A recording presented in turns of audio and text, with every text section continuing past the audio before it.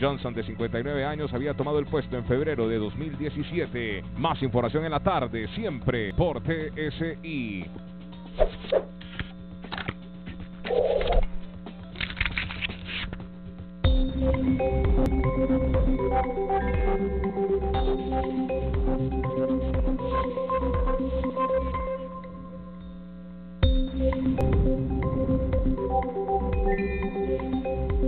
Desde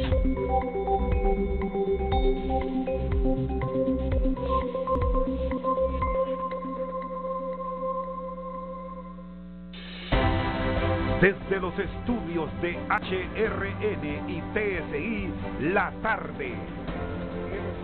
¿Cómo va la parte de la punta y también el descenso? Y en el campo internacional aquí eh, les actualizamos, el Barcelona está ganando en el Teatro de los Sueños 1 por 0 con autogol de Chap.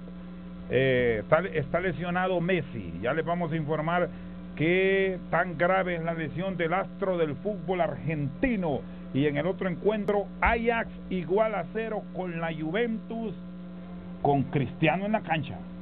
Así que para duele, que ¿ah? no se queje, no, yo ya estoy acostumbrado a ganar, no, nombre estoy acostumbrado a ganar, han sido tres años de éxito y los papás no pueden estar azotando todo el tiempo a sus hijos. Ay. Bueno, bienvenidos a las noticias. Hoy ya se lanzó la campaña de prevención de accidentes en esta temporada de Semana Santa en, en un momento bastante interesante por el tema de el tiempo. Lluvias eh, torrenciales en varios sitios del país. Bueno, que en la capital llovió fuerte, pero en este momento tenemos una temperatura. A ver si la chequeamos. ¿Cuál es la temperatura en este momento en Tegucigalpa? Bueno, eh, Tegucigalpa tiene una temperatura de 28 grados, San Pedro Sula 31 grados centígrados, Santa Lucía fresco 24, Nacaome 37, San Lorenzo y Choluteca también tienen esa misma temperatura y Dalí 31 grados. Bueno, Caliente. donde está caliente la cosa también es en la frontera. Oh. Caravanas y más caravanas. No sé si las atenciones que en su momento brindó esta comisión especial de intervención que nombró el gobierno ha estado funcionando y trasladando al ciudadano el interés, el interés de no partir. Vea, es de alto riesgo, es de alto riesgo lo que está ocurriendo en eh, Guatemala y no digamos en los Estados Unidos mexicanos, donde hay sitios donde no quieren ver a nuestros compatriotas ni en pintura. Y mire, da pena, da mu- mucha tristeza observar cómo muchos compatriotas parten de pronto engañados. Alguien llega y les traslada de que van a encontrar el sueño americano y ya vieron ustedes que día a día las medidas del presidente Donald Trump se están endureciendo aún más. Y la prueba la encontramos en las disposiciones que tiene el eh, presidente de los Estados Unidos para todos los entes ligados a parar la migración ilegal desde estos pueblos de Centroamérica. Decía, ¿qué ha pasado con los temas de apoyo a los migrantes? Se logró concretamente hacer eh, y lograr el respaldo y el apoyo por parte de los eh, entes del gobierno y la misma empresa privada que en su momento se planteó la posibilidad de apoyar a través de la pequeña y mediana empresa a, a muchos que se vinieron por voluntad propia. No sé, Saraí, usted que conversa con el comisionado, si están con esa atención puntual a quienes eh, piden el respaldo para retornar. Incluso habían unos que eh, se les secuestró. Afortunadamente ya se les logró liberar. Es que mire, Rosendo, yo veo las imágenes y a la gente realmente se le ha mentido. Usted, si va en un camino tan largo, son tantos kilómetros, el sufrimiento que llega a pasar, y yo creo que la gente va como que fuera de picnic. Como que fuera a un viaje a Guatemala, como que fuera de vacaciones, Rosendo, eso es un viaje increíblemente doloroso. Allá en los Estados Unidos, como hay un anuncio que escucho yo, nadie lo espera. Me informan que tenemos una llamada telefónica. Buenas tardes. Sí, aló, buenas tardes. Buenas tardes, caballero.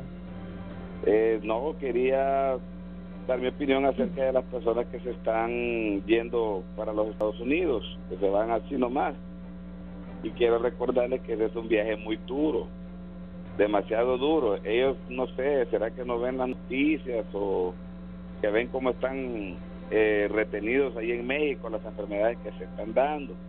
Y pues, deben de pensarlo bien. Aquí en Honduras de una u otra manera se pasa y llevan sacrificando a los niños también.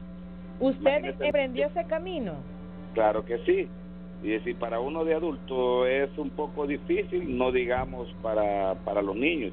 Yo creo que, mire, debería de, los que se preocupan por la niñez, deberían de, de estudiar un poco esa posibilidad de que los padres no arriesguen a sus niños en ese viaje tan tan tan tan complicado. Ahora, ¿cuándo se fue usted y qué fue lo que vivió? Yo me fui en el 2003, imagínense que en aquel tiempo no era muy complicado. Y ahora está más difícil con los secuestros, con en aquel tiempo pues ni se mencionaban el negocio de órganos, del, no, no estaban los Zetas que son los que se encargan ahora también de, secuestrar y, pedirle dinero a los familiares en Estados Unidos o en otras partes. Y ahora ahora hay tanto problema para poder pasar. Entonces yo, yo sugiero que por lo menos los que llevan niños que piensen bastante en eso. ¿Cuánto fue el tiempo que usted realizó en esta caminata hasta los Estados Unidos? ¿Y alguna vez lo detuvieron? Sí, yo me estuve un mes, incluso incluso iba con Coyote y me estuve un mes. Imagínense que con Coyote y me estuve un mes y ese día comíamos dos veces en el día desayunábamos a las 11 de la mañana y almorzábamos como a las 5 de la tarde porque no había para comer más. Entonces, aún con coyote, ¿será que escogí el coyote más, más, este, más tacaño porque estábamos jodidos? Bien, muchísimas gracias por su comunicación. Tenemos más llamadas telefónicas, línea 4. Buenas tardes. buenas tardes. Buenas tardes, eh, caballero honestamente que es un tema bien complicado, porque hay una gente que, el gobierno más bien siento yo como que fomenta al decirle a la gente que es un camino peligroso. Eh, no hay una política de parte del gobierno como para crear una buena fuente de empleo, que el, el hondureño se sienta orgulloso de trabajar en una empresa y que se le pague un salario digno. Honestamente, el hondureño emigra porque el salario ya no les ajusta aquí en Honduras y hay un salario mínimo que son como de 9 mil empiras, pero si ustedes van a hacer una inspección a la mayoría de empresas que hay a nivel nacional, se le está pagando 2.500 a un joven, a una persona que tiene hijos, se le está dando 4.000 al mes, si querés, si no, pues busco otro. Entonces, es ahí, como dice un amigo mío, el problema que el gobierno no se preocupa esté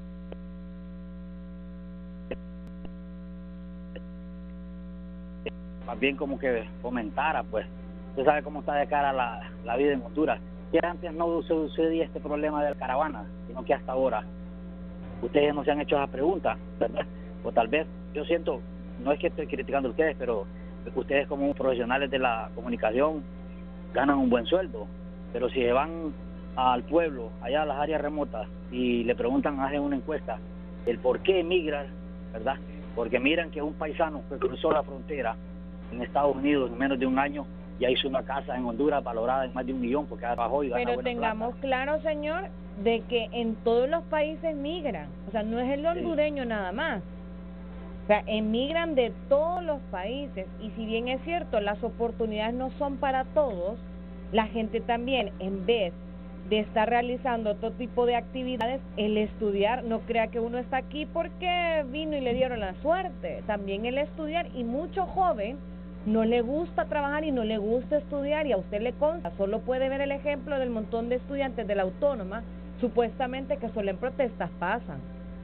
Si usted quiere ganar bien, tiene que estudiar, tiene que quemarse las pestañas. Si no, nunca va a salir del mismo embrollo donde vive. Bueno, seguimos atendiendo voces le- del pueblo. Hay más comunicaciones. Mario Gutiérrez, línea número uno. Buenas tardes. Hola. Bueno, vamos entonces en la línea número tres. Buenas tardes. Buenas tardes, licenciado.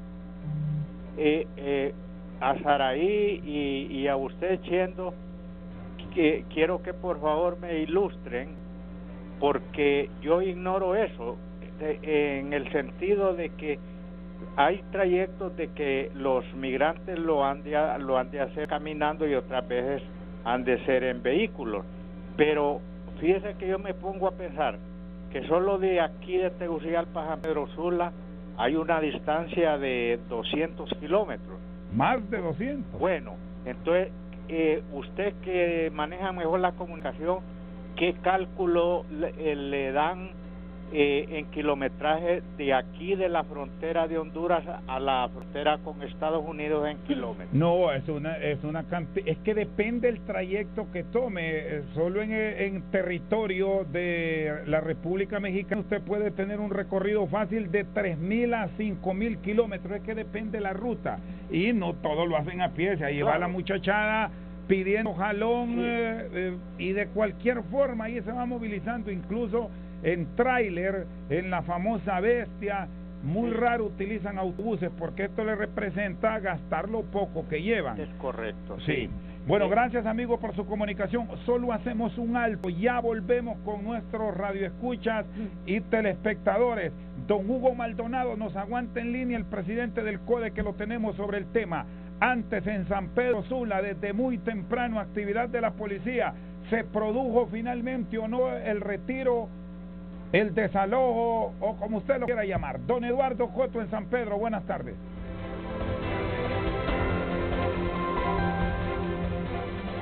Buenas tardes, eh, Rosendo, Saraí, Don Mario, auditorio de HRN, La Voz de Honduras, televidentes de TCI, aquí en la tarde. Estamos en el lugar donde se está procediendo al desalojo eh, pacífico por parte de las personas que han estado residiendo aquí por unos cuatro años. Y hoy los tribunales de justicia eh, pues les notificaron que tenían que eh, desalojar estas 14 manzanas que se encuentran a un costado de la autopista que conduce de San Pedro Sula hacia la Lima Cortés, específicamente frente a Circa Alpules, cercano al sector de, eh, de las oficinas de tránsito aquí en San Pedro Sula.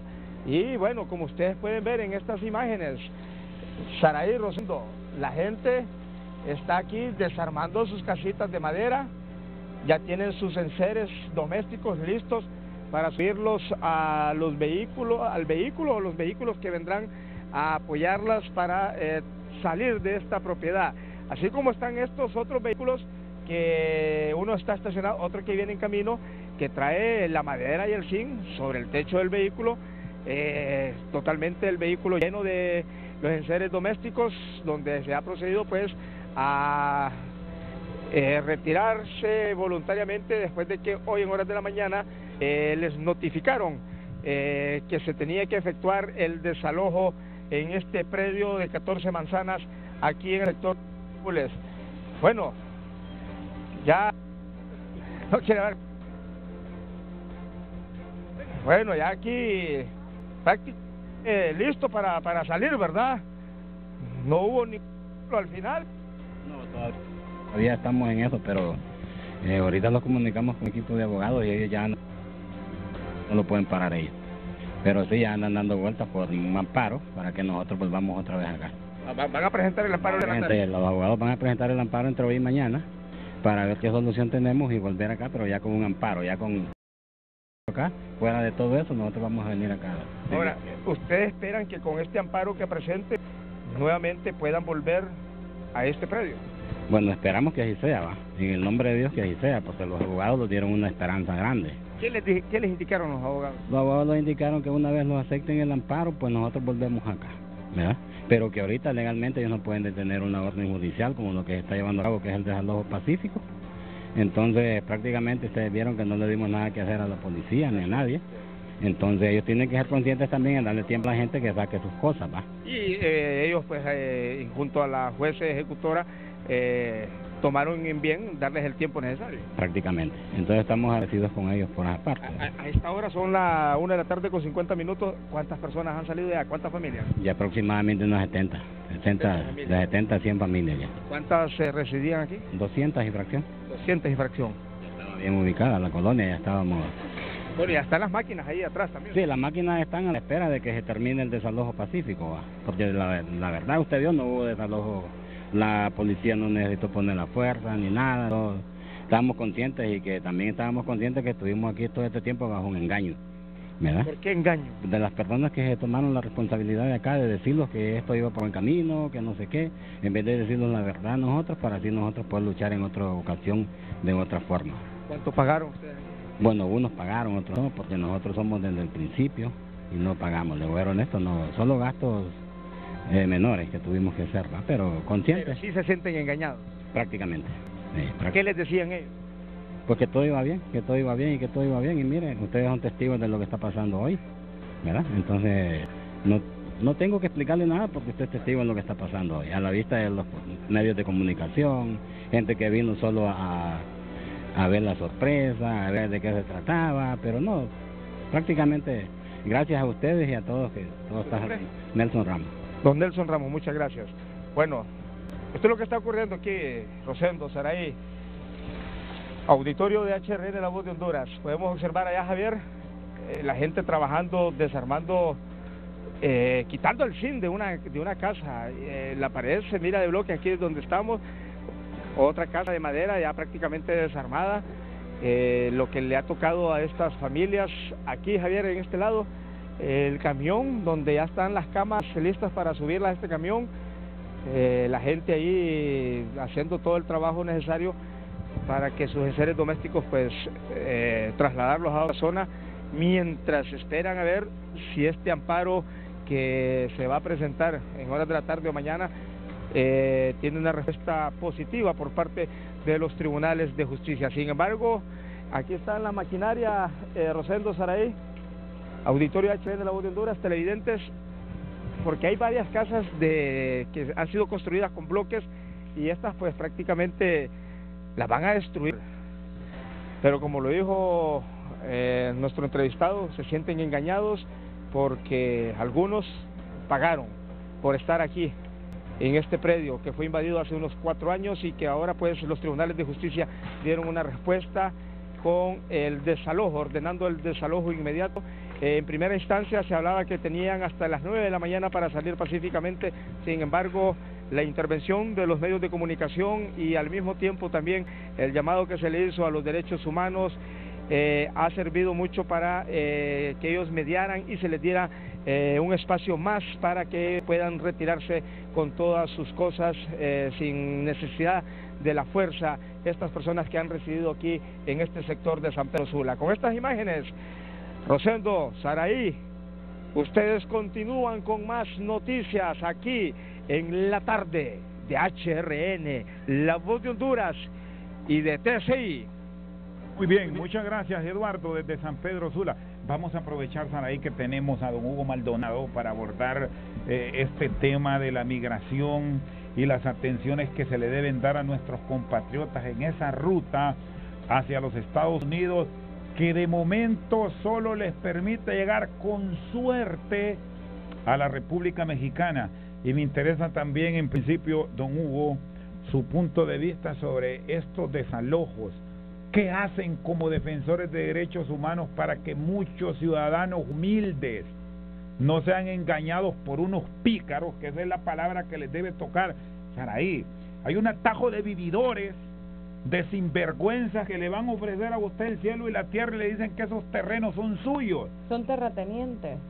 Eh, sinvergüenza y se los venden, se los venden y después terminan engañados y muchas veces pasa lo que ha ocurrido eh, hoy en San Pedro Sula. Pero también la población Rosendo. Sí, Hay, tiene que averiguar. no, no, pero también deberían de averiguar antes de dar dinero. No, no si es que sinvergüenzas ahí le llevan cuesta. papeles. Pero yo Ah, en papel yo le puedo escribir un montón de Sí, cosas. pero préstame aprovechan de un la lápiz, gente humilde.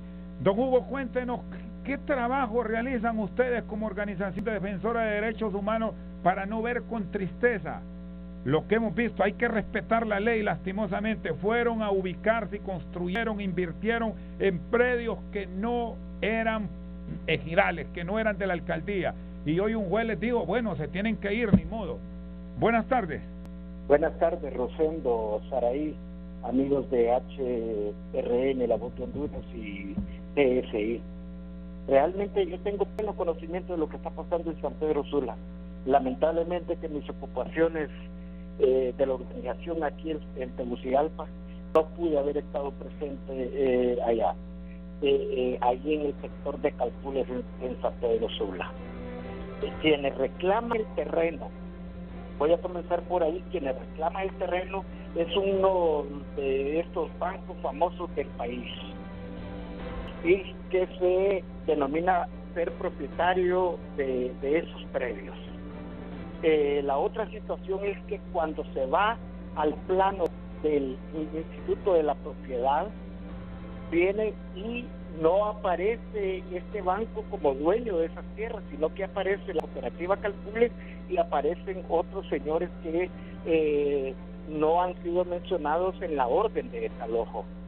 Nosotros creemos que el sistema de justicia en el país no debe estar al servicio del sistema de algunos eh, empresarios bancarios en el país, sino que debe estar al servicio de la solidaridad humana y la solidaridad social y que estas situaciones eh, ni tampoco de los de aquellos que se aprovechan de la gente incauta, de la gente inocente y que los hacen construir. Miren, ya vimos ahí las imágenes, por ejemplo, invertir 100 mil espiras en una vivienda eh, con material también es un riesgo a lo que se somete quienes, quienes construyen en un terreno donde no se les tiene una escritura pública, porque a alguno de ellos eh, se les dijo que iba por buen camino.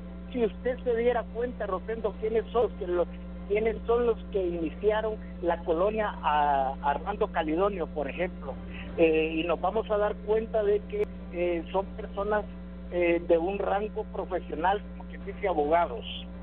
Y la otra situación es que nosotros vamos a dar seguimiento al amparo que se presente y vamos a ver qué tan cierto es la posesión de este banco sobre esos terrenos ahí en el sector de Calcule, porque creemos nosotros que aquí mm, la, impartición de justicia a través de la sala de lo constitucional se haga con apego a derecho y si ellos tienen la razón. Don Hugo. Muy bien, dígame Saray. Ahora le consulto yo. ¿Qué se está haciendo con el tema de los migrantes? Ustedes son defensores de derechos humanos, pero ¿qué están haciendo como organización? ¿Cómo están acompañando a los migrantes o cómo están evitando la migración? Correcto. Mire, Saraí, desde un principio nosotros tuvimos, desde octubre del año pasado, nosotros nosotros tuvimos un posicionamiento muy claro eh, eh, y haciendo un llamado a nuestros compatriotas que no pusieran en riesgo a, ni, a menores de edad, a niños minusválidos o con eh, o niños especiales y niños y niñas especiales o ancianos de las personas de la tercera edad o adultos mayores. Hemos estado concientizando a la sociedad que, si bien es cierto, en el país la ola de violencia y la falta de oportunidades en el desarrollo de sus familias, en el desarrollo como persona humana en el país son muy pocas, pero eh, hemos visto ese drama, esos testimonios eh, de, ese drama que se, eh, que se recorre en ese mal llamado sueño americano, en donde desde la frontera de Agua Caliente o otra frontera ya comienza el martirio de nuestros compatriotas que de una u otra forma quieren buscar mejores derroteros para la sobrevivencia humana y para la sobrevivencia como familia. Ahora bien, los familiares de ahí los que los que van en las diferentes caravanas no en la caravana que salió hoy por la madrugada, entre anoche y hoy por la madrugada, tenemos entendido que eh, se le había denominado como la madre de las caravanas y salieron alrededor de 1.200 personas según eh, eh, pude escuchar a, a su colega de, de, de TSI, ¿verdad? Y de N5, entonces déjeme decirle que algunos iban eh, ya tenían inclusive un contenedor ahí aparcado y otros iban a, como 300 personas más o menos iban eh, eh, caminando hacia buscando el occidente del país. Ahora, don Hugo, ya para finalizar, ¿usted cree que esta caravana esté siendo eh, acompañada por algún político, dinero de, de, alguna persona que esté interesado en hacerle eh, mal al país?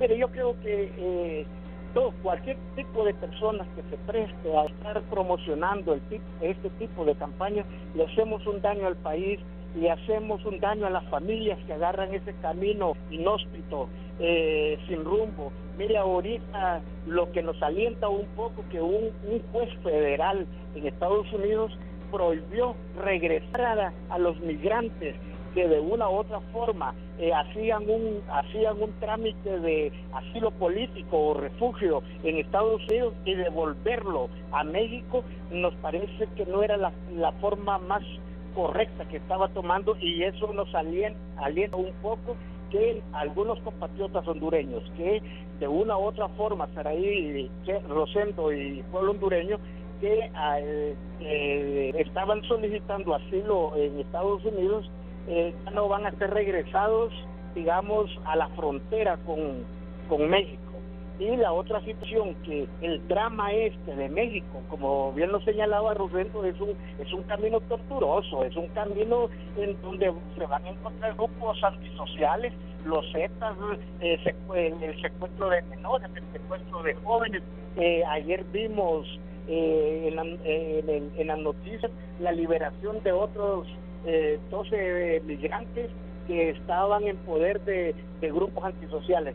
Todo este drama toda esta situación de cruzar el río, eh, el, el, muro, parte del muro que ya está construido y que tienen que evadirlo nuestros, eh, nuestros compatriotas y otros migrantes, creo que esto es una zozobra y una situación muy delicada en donde también ponen en riesgo la vida y la seguridad de cada uno de los que viajan en, en esas. Nosotros como organismo de derechos humanos hemos acompañado hasta la frontera.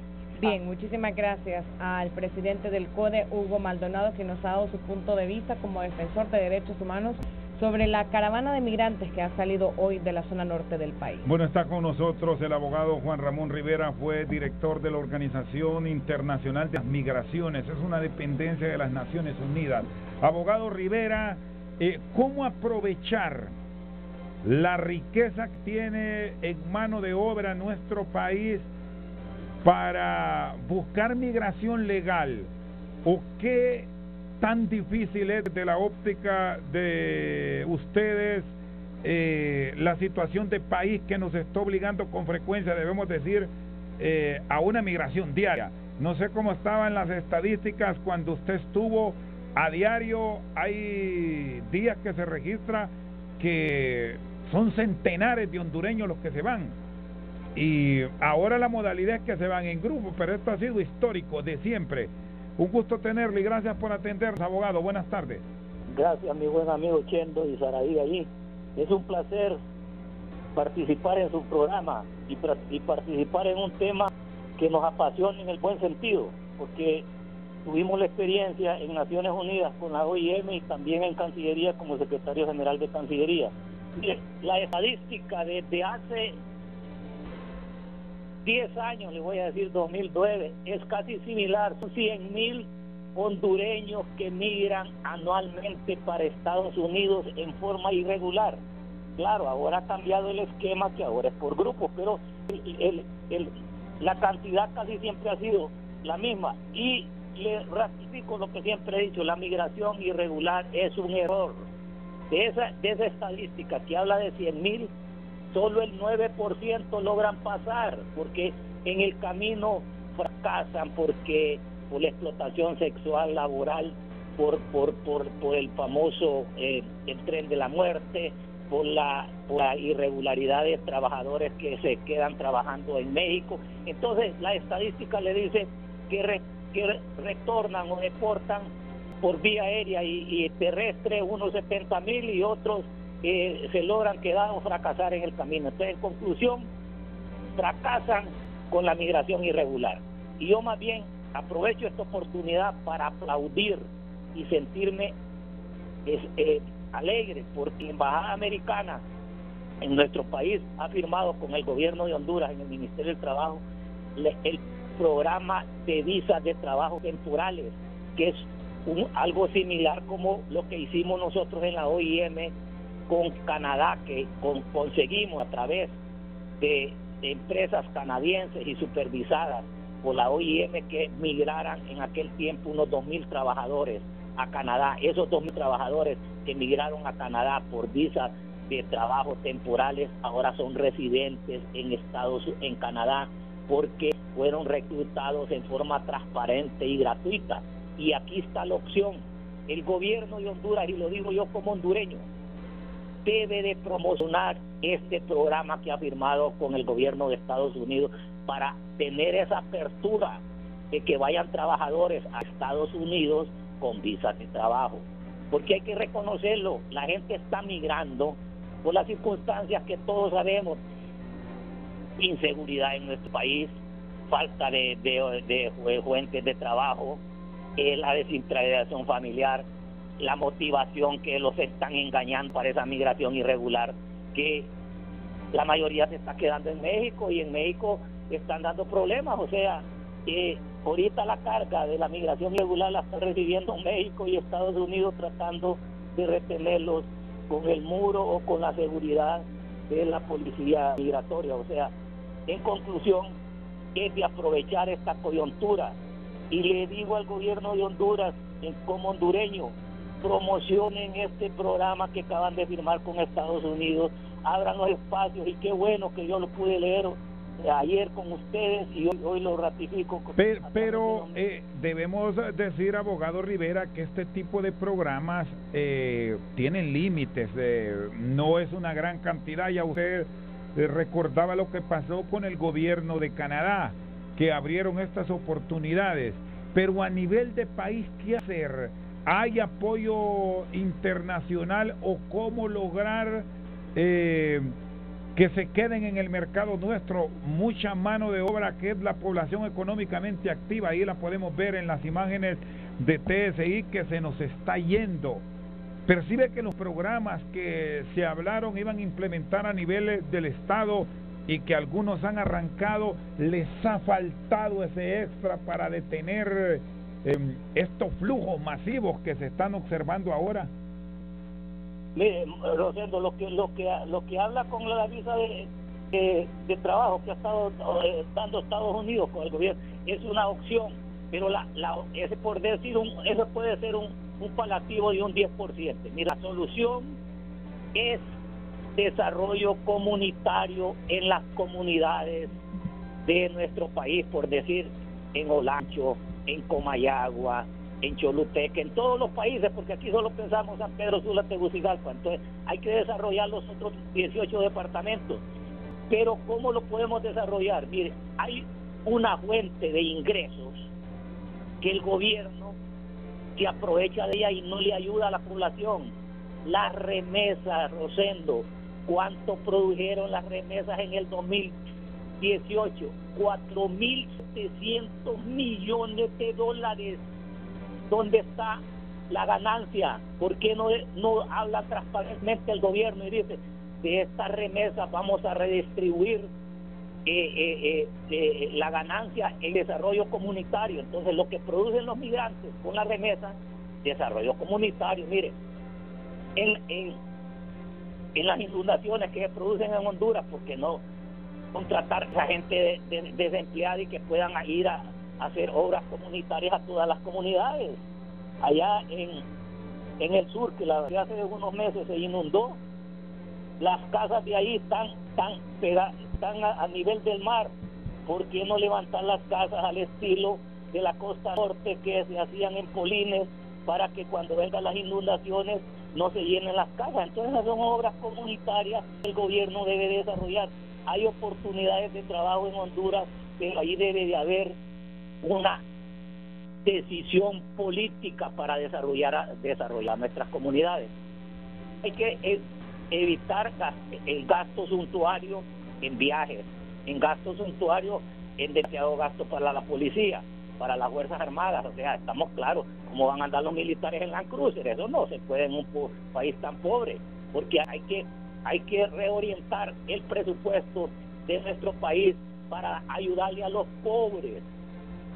Muy bien, muchas gracias. El abogado Juan Ramón Rivera, exdirector de la Oficina de Internacional del Migrante, OIM, eh, sobre esto último que decía. Sí es urgente que los programas que se ponen en marcha les den seguimiento y que a nivel del Estado en este tipo de casos se nombre un vocero para que atienda y oriente desde el nivel ejecutivo, porque ve usted en la fuerza multinacional que se integró así era, ¿va? ahí recuerdo estaba la doctora Nelly Jerez, estaba personal de Copeco, eh, la abogada Luis Salas, pero búsquelos, búsquelos, ninguno se tira en la pelota, no asume nadie el rol de informar. Pero es que yo también le voy a decir algo.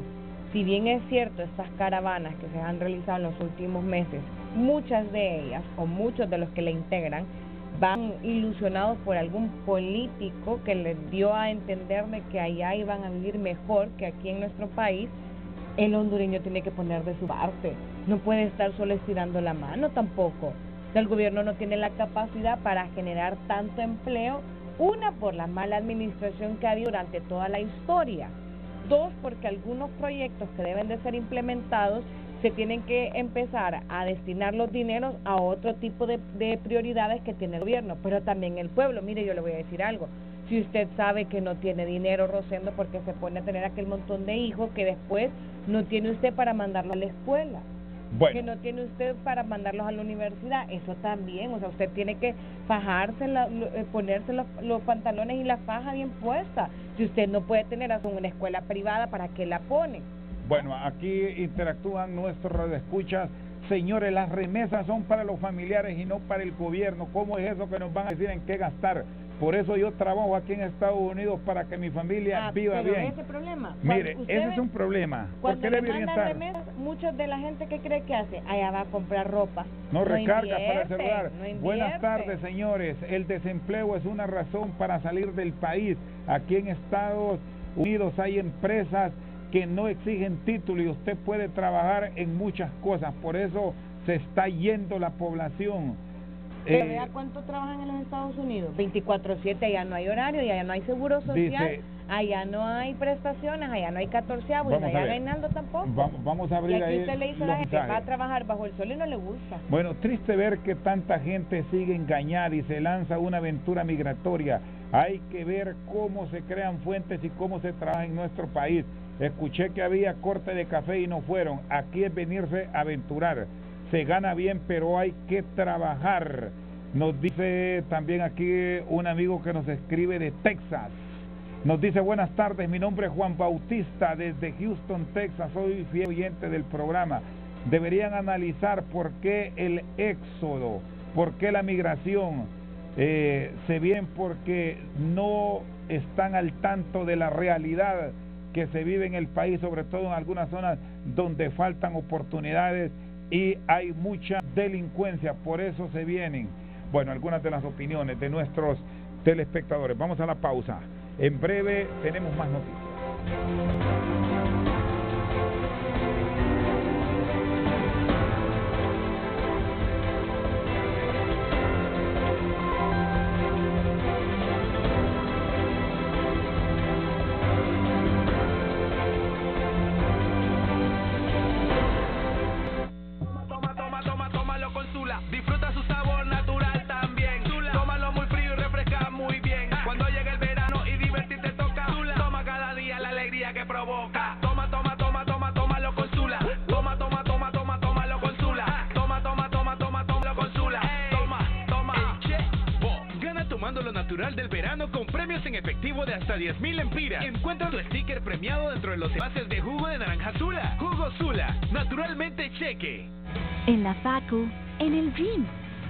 Amigos, donde sea Mi cara está siempre natural, sin pinillas ni brillos. Nueva Asepsia Vivi, con tecnología autoajustable, ideal para pieles con brillo. Unifica el tono. Matifica la piel. Controla el exceso de grasa y protege del sol. Ni un maquillaje, ni una crema cualquiera. Un perfeccionador para mi piel. Nuevo Asepsia Vivi. La primera Vivi para pieles grasas de Asepsia. Teatrical con células madre de una flor. Usa su poder para una piel hermosa. Regenera tu piel con Teatrical crema facial con células madre de una flor. Latinoamérica, unida por la música. ¿Cómo tal? Dale, La premiación de mayor prestigio en la industria. Y el ganador es los artistas más importantes del momento. Nicky Jam. Luis Fonsi. El evento más esperado del año. El canal de los grandes eventos te trae desde Las Vegas, Nevada.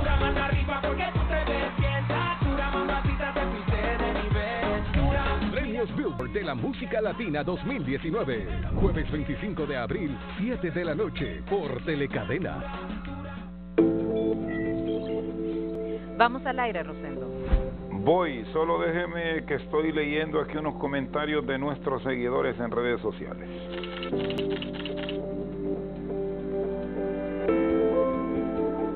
Su opinión es importante, coméntenos a quién quiere ver en el próximo al banquillo.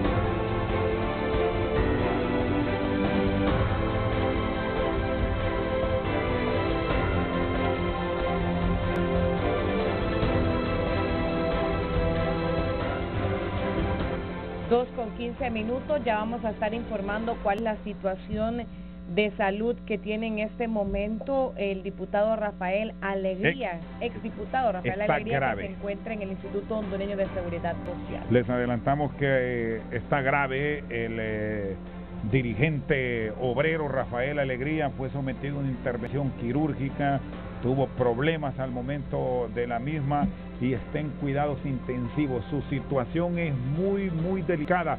Ya vamos a tenerles mayores detalles.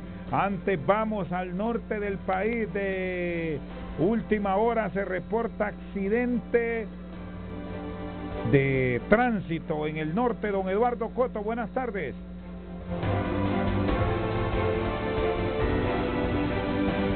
Buenas tardes, eh, Rosendo Saraí, auditorio de HRN La Voz de Honduras, televidentes de TSI aquí en la tarde.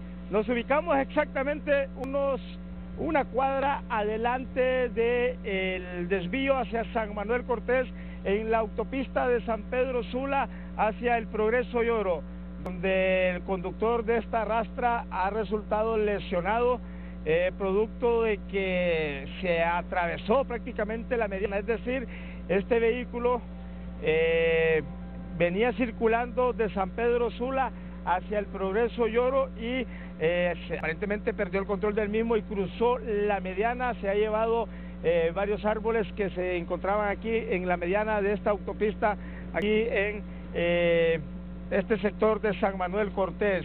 Reiteramos hasta el momento, según lo que se nos ha informado por elementos de la Policía Nacional de Tránsito, eh, hay una persona eh, herida que tenemos entendido es el conductor de la rastra y va cargada de refrescos. Eh, afortunadamente, Rosendo Saraí, pues solamente se registra este accidente, daños eh, materiales. Eh, no impactó con ningún otro vehículo. Vamos a dialogar con los elementos de tránsito. Los miembros del cuerpo de bomberos han llegado para cortar las ramas y habilitar el paso vehicular eh, en Ostro- a- que conduce del, hacia San Pedro Sula. Vamos a ver, eh, solamente una persona lesionada. César. Sí, correcto. Como se puede observar ahí, donde participó este cabezal, lo que es cargado de fresco, es donde salió el conductor con lesiones considerables. ¿Cómo ocurrió el accidente? ¿Qué es lo que manejan en este momento? Este, según versión, lo que es el conductor. Y todo, perdió el control y vino a impactar contra el árbol que Afortunadamente eh, no, no venían vehículos circulando desde el progreso hacia San Pedro Sula. Gracias a Dios, como usted puede observar, que lo que es la, el cabezal cruzó lo que es la, el- todo el bulevar y la mediana, el cual, gracias a Dios, no venía vehículo en sentido opuesto, lo que es la circulación hacia San Pedro Sula, y, y por lo que no se dio una tragedia El grande. conductor de la rastra fue trasladado a una clínica. Sí, este, fue trasladado a una clínica por sus familiares ahí, ya que salió con lesiones, pero considerables, no de gravedad. Bueno, muchas gracias, César Troches, de la Dirección Nacional de Vialidad y Tránsito. Aquí están ya los miembros de los bomberos retirando la- las partes de este árbol que habían quedado obstaculizando parte de esta trocha y así pues la circulación vehicular se puede ser normal nuevamente. Esto es lo que podemos informar desde este lugar de aquí en San Manuel Cortés, eh, antes de llegar al sector de Col, eh, donde se ha registrado este accidente de tránsito. Rosendo, Saraí, don Omario, afortunadamente solo son daños materiales y gracias a Dios en ese momento no venían circulando vehículos porque de lo contrario estaríamos hablando de una desgracia mayor. Con ustedes, hasta los estudios de HRN, La Voz de Honduras y de TSI, aquí en la tarde. Muy bien, gracias Eduardo Coto. Bueno, hay una información de última hora aquí. Hay un pronunciamiento de la Facultad de Ciencias Jurídicas y Sociales o la Facultad de Derecho a propósito de las manifestaciones de las tomas en el campus universitario aquí en Tegucigalpa y la intervención de la policía. Mucha atención a esta información de última hora desde la universidad. Con responsabilidad y seriedad. HRN con noticias, noticias, noticias.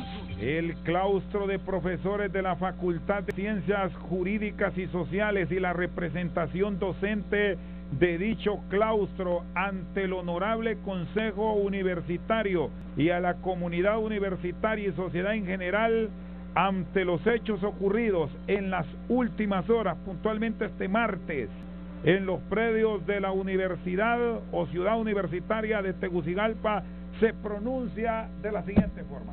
Condenamos la violenta y, y desproporcionada represión contra los estudiantes que se manifestaron el martes 9 de abril frente a las instalaciones de Ciudad Universitaria en protesta por la privatización del Infop y el alza de 11% al servicio de energía eléctrica. El uso excesivo del gas lacrimógeno como medida para dispersar a los estudiantes que ejercían el derecho o su derecho constitucional a la protesta afectó no solo a los participantes en la manifestación, sino a los estudiantes, docentes, personal administrativo, visitantes en la universidad y a los comerciantes ubicados en el sector. Los efectos para la salud de esa arma incapacitante no letal son una irritación instantánea de los ojos, la nariz, la boca, la piel y las vías respiratorias, pudiendo llevar a situaciones de riesgo de muerte a personas asmáticas.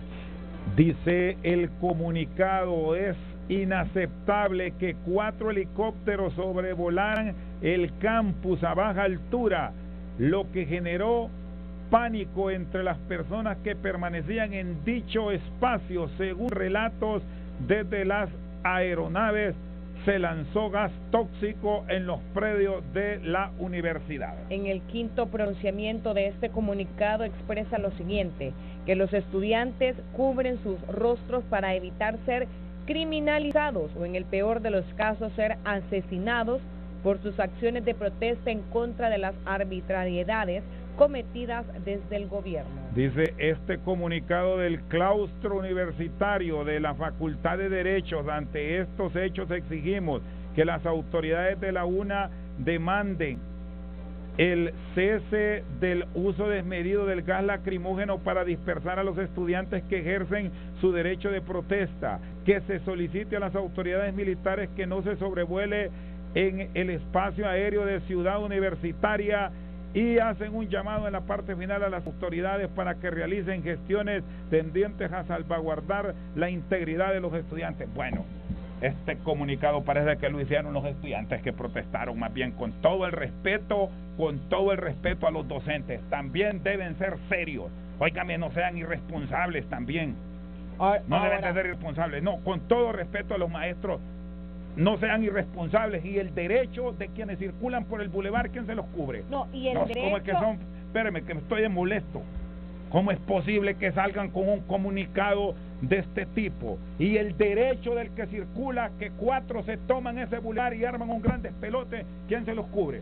La autoridad tiene que actuarse aquí. Ya tiempo se les está diciendo que frenen el abuso de cinco o seis que son los que se toman esa universidad. No es posible. Bueno, pero es que también recuerde que se debe de, de defender los derechos del transeúnte, ¿verdad? Sí. Las personas que transitan por ese sector, las personas que venden en ese sector, las empresas que tienen sus negocios y tienen empleados que corren el riesgo de ser despedidos por los altos índices de, de violencia que se viven en ciertos días por algunas protestas que muchos de ellos ni saben qué es lo que están protestando, porque ayer que se le consultó, ellos manifestaron que era solo por el incremento del 10.89% a la factura de la energía eléctrica. Hoy ya mencionan que también es por el caso del Infop. Bueno, solo les digo una cosa, si quieren protestar, manifiéstense frente a la universidad, no se tomen la calle, no hay uso de gas. Y, y yo creo que en uno de estos puntos que eh, contiene este comunicado hay elementos que no van, que no van con la realidad. N- No creo realmente, y de ahora que hay tecnología, grábenmelos y ahí me van a callar y les voy a ofrecer disculpas. Les ofrezco disculpas de inmediato si me mandan un video en donde se observe ahí que desde un helicóptero, como dice el comunicado, están tirando gases lacrimógenos. Ahora, ¿quién nos asegura a nosotros que realmente ellos sean estudiantes? Ese es el otro punto, dice que por Nadie. eso se cubren la cara. Vamos a la pausa mejor.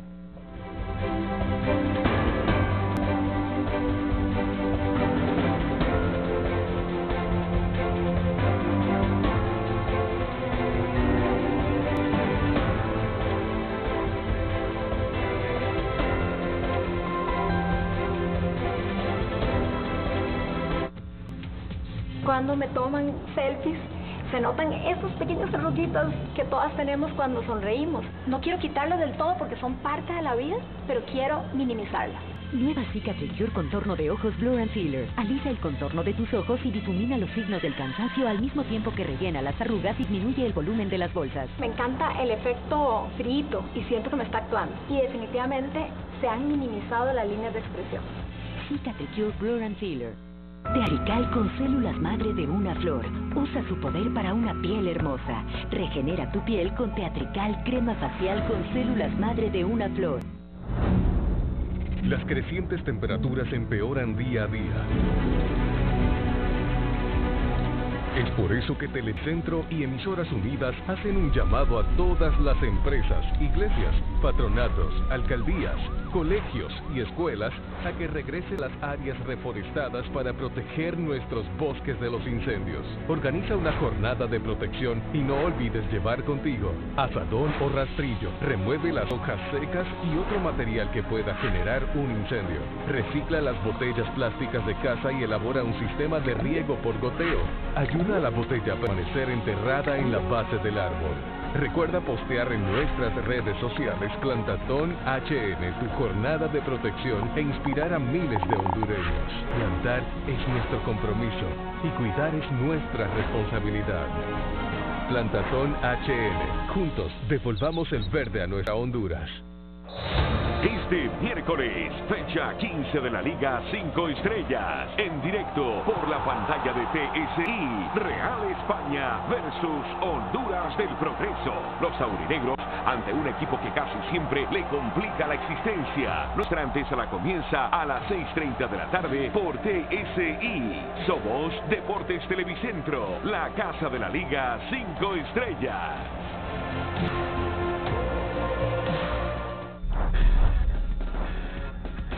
Somos más que noticias.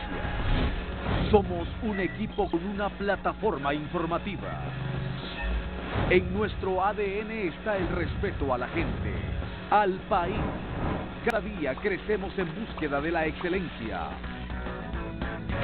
TSI, el orgullo de estar informado.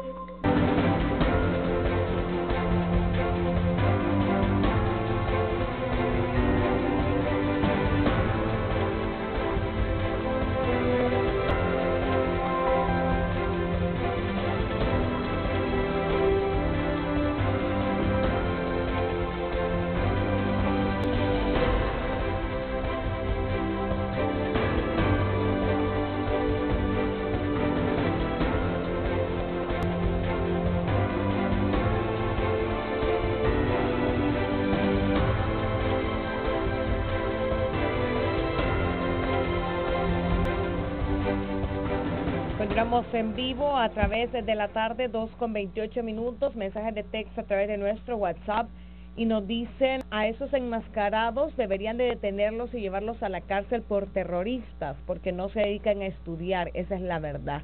Buenos días, esos son unos vagos delincuentes, lo que están molestos es, es porque les han detenido a su líder, el que les distribuye, dice, bueno, estupefacientes. Estoy de acuerdo con Chendo hasta cuando el claustro de la U seguirá aliado a los disque estudiantes encapuchados. Saraí dice, estoy muy de acuerdo con usted, Chendo. Chendo, esos mensajes que envían por parte de la universidad no son más que llamarada de tusa. El desempleo es una de las razones de salir del país, nos dicen en esos mensajes de texto. Muy bien, bueno, estamos en eh, breve en comunicación con eh, el sector de Celaque. Pero antes, Rosendo, tenemos que hacer un llamado a los familiares y amigos de doña Glenda de Gómez, ya que el día de hoy, a las seis de la tarde, en el templo San Juan Bosco, finaliza el, eh, las misas por el eterno descanso de quien en vida fuera el señor Mario Gómez. Lo invita su esposa, Glenda de Gómez e hijos. Así que eh, repetimos nuevamente el día de hoy a las 6 de la tarde en el templo de San Juan Bosco finaliza el triduo de misas por el eterno descanso de quien en vida fuera el señor Mario Gómez, invita a su esposa Glenda de Gómez y familia. Dos de la tarde con 30 minutos. Hoy se ha lanzado la campaña de verano seguro. El CONAPRED está ya con todo su dispositivo a nivel eh, de la Policía Preventiva, del Ejército, Cruz Roja, bomberos, alcaldías, Oficina de Migración y ahí me detengo con autoridades sanitarias por el riesgo que existe de que el dengue nos pase factura y que el sarampión, que ya se había erradicado de muchos países de la región, nos vuelva a afectar a gran parte de la población. ¿A usted le dio sarampión? Sí, me dio sarampión.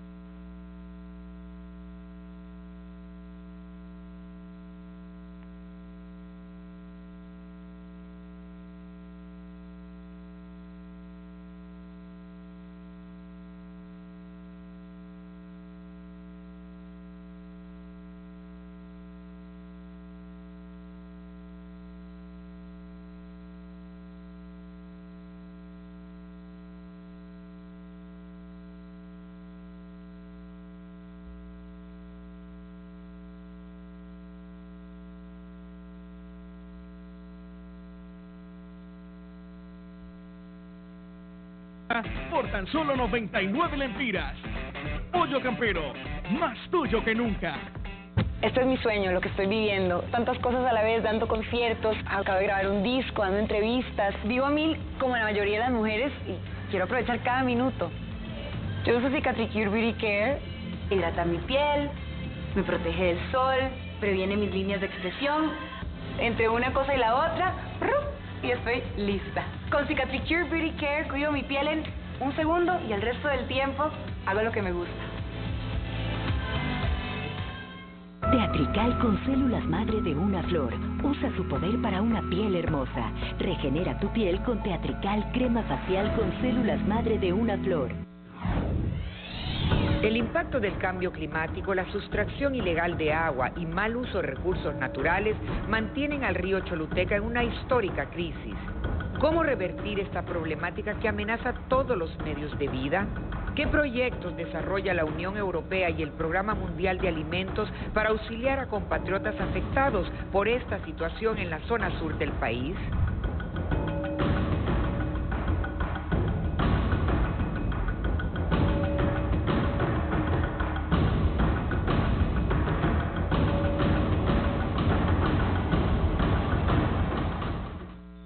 TSI te presenta Vas a tener que ir a una iglesia para poder ver a mi hijo. No solo vas a arruinar tu vida, sino también la mía. la vida y obra del Papa Francisco. Jesús quiere cambiar el mundo, pero no lo quiere cambiar con revoluciones ni con ideologías. En una miniserie biográfica basada en el bestseller El Jesuita. ¿Dónde proviene tanto odio? Desde los difíciles inicios de su ejercicio sacerdotal Evite todo conflicto con el gobierno. No se No meta. solo vas a arruinar tu vida, sino también la mía. hasta convertirse en el líder mundial de los católicos. Ese soy yo. Un cura de la calle. No te puedes perder la superproducción. Habemos Papa. Francisco el Jesuita, viernes 19 de abril, 3 de la tarde, por TSI. Lo que aquí se dice, se comenta al día siguiente. La responsabilidad de los jugadores, ¿cuándo? ¿Dónde? La responsabilidad de los técnicos, ¿cuándo? ¿Dónde? Todas las noticias, las historias, el debate. Hoy por lo menos estoy autorizado para opinar, no, No, sí, dele, no voy a, siempre, lo estamos, no, por Sí, tema siempre de, opina, por tema de qué, JC. Las dosis diarias de fútbol que todo aficionado necesita. La tenemos cada noche en Fútbol a Fondo. De lunes a viernes a las 9 por TSI.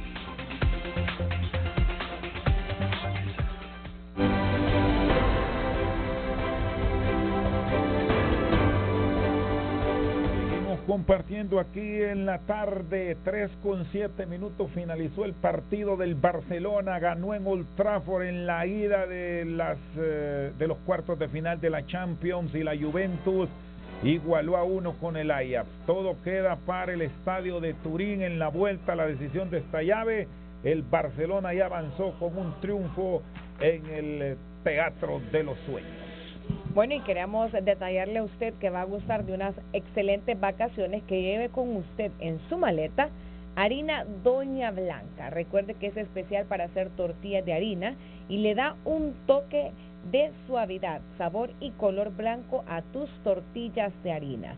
Notarás la diferencia desde el amasado. Los que saben, saben. Solo las baleadas hechas con harina Doña Blanca saben muy bien. Así que usted aproveche y durante esta temporada de Semana Santa lleve harina Doña Blanca para que prepare unos ricos desayunos.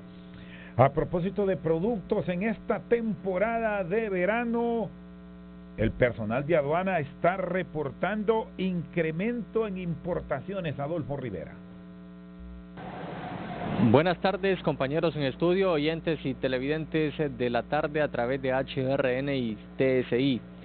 Más de 7 mil millones de lempiras en derrama económica deja la Semana Santa, de acuerdo a las autoridades del Instituto Hondureño del Turismo. ¿Qué tanto sienten en las aduanas este movimiento? Le consultamos al eh, presidente de la Federación de Agentes Aduanales de Honduras, Fernando García. ¿Realmente ustedes reportan eh, mayor eh, cantidad de importaciones? Buenas tardes, Fernando. Sí, muy buenas tardes. Realmente el comportamiento en las aduanas comienza, es fluctuante. Por ejemplo, el mes de enero y febrero son meses que realmente cae la importación y empiezan a subir por debido a la Semana Santa. Hay un incremento sí de importaciones porque eh, todas las empresas empiezan a vender sus artículos para lo que es ir a la playa. Por lo tanto, se hacen mayores importaciones de lo que son productos que bien son relativos a esto de hacer los viajes turísticos a las playas. ¿De qué tipo de productos y cuáles son las aduanas que reportan eh, estas compras? Sí, eh, generalmente se está moviendo bastante la aduana de Puerto Cortés. Por ahí las importaciones son mayores. ¿En empleos cuánto están generando eh, por concepto del trabajo operativo que realizan? En, en las aduanas pues se genera bastante empleo debido a este flujo de comercio que tenemos de importaciones. El dato exacto no, no lo manejo, no lo tengo. ¿Qué otro periodo tiene un comportamiento parecido al de la Semana Santa? Eh, por ejemplo, el mes de diciembre, en los meses eh, que anteceden, hay mucho movimiento debido a que viene toda la parte de los productos navideños y esto causa que se haya un pico en las importaciones entre los meses de octubre y noviembre. ¿Y el periodo antes de Semana Santa o diciembre, cuál es el mejor? Eh, nosotros tenemos como picos eh, prácticamente inicios de marzo, eh, junio por el catorceavo y tenemos eh, los meses que como tres meses antes de diciembre. Muy gentil, el presidente de la Federación Nacional de Agentes Aduanales de Honduras, Fernando García, con las explicaciones y el eh, movimiento que reportan meses antes de la Semana Santa en las importaciones de todos los productos de la temporada. Vamos hasta el estudio principal. Buenas tardes. 3 con 11 minutos. Hacemos un contacto con Yari que se ha dedicado a realizar turismo interno para que ustedes, que aún no saben dónde van a poder ir a disfrutar de estas vacaciones de Semana Santa o quieren tener la oportunidad más adelante de poder disfrutar de lo bello que tiene nuestro país, pues Yari les va a mostrar un poco de lo que pueden encontrar en el Parque Nacional de Celaque en Lempira, donde han aumentado el número de deportes extremos a aquellos que les gusta realizar este tipo de actividades. Adelante, Yari. Buenas tardes, buenas tardes nuevamente. Bueno, estamos acá en Termas del Río. ¿A cuánto de distancia de la ciudad de Gracia, Said? Aproximadamente unos 10, entre 15 minutos, son 7 kilómetros por máximo. Cuéntenos, eh, ¿cuántas piscinas, o mejor dicho, de aguas termales cuenta este lugar turístico? Bueno, cuenta con eh, cuatro, cuatro áreas ¿verdad? de piscina, lo cual pues, alcanzan temperaturas de 30 grados a 45 grados como máximo. Esto sin duda alguna es uno de los principales atractivos en el departamento de Lempira, las aguas termales que muchos las toman como medi- medicinales. Así es, ¿verdad? Uno de los lugares de relajación, ¿verdad? Eh, también como terapia para mucha gente nos visita en esa área, ¿verdad? Eh, como terapia. En, ter- en Termas del Río, además de las aguas termales, también se cuenta con el canopy, para aquellos que les gusta la adrenalina, es decir, todo el deporte extremo. Así es, ¿verdad? Para todo aquel que quiera pues eh, hacer lo que es el famoso canopy, también pues Termas del Río cuenta con ello, con un deporte extremo, ¿verdad? Y tiene otras actividades, ¿verdad? Las cuales también cuenta para que pueda disfrutar, ¿verdad? Como recreatividad.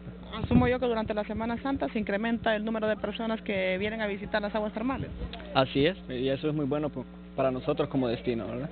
Sí, mire, vamos aquí a aprovechar a, a entrevistar a una de las señoras que aquí, bueno, la miramos que está disfrutando, ¿verdad? Sí, sí. ¿Y de dónde viene? De San Juan de Ocoa, Copán. De Copán se vino a sea, de disfrutar. San Juan de Ocoa pues es un municipio de Santa Rosa. Sí. Y a, a bañar entonces. A bañar, a disfrutar aquí con la demás está rica? Está rica el agua. Sí. La invitación entonces para que Ajá, sí. ¿Y con Sí, pues, anda, además de con familiares o, o solo amigos? Sí, el- es el grupo de, de adulto mayor. Mire, pues aquí, para que vean, ellos se han dado la tarea de venir a disfrutar. Ya, ya lo miro bien bañadito. No, ya estamos bien refrescaditos. ¿Verdad? Por la voluntad de estaba rica. Está bien buena el agua. Ya va más relajado. Ya voy más relajado. Como dicen en el pueblo, a echar un pelón. A echar un pelón. bueno, Andamos nosotros, somos, somos el grupo de la tercera edad, de ahí de San Juan de, San Juan de Poa. Andamos, eh, andamos como 20 o 28, por así. Tre- 30 andamos del adulto mayor. En nuestro alcalde anda también cuidándolos. bien, pues así está, mire. Así está entonces el ambiente aquí en Termas del Río, las aguas termales famosas aquí en Gracias Lempira. Regresamos con ustedes.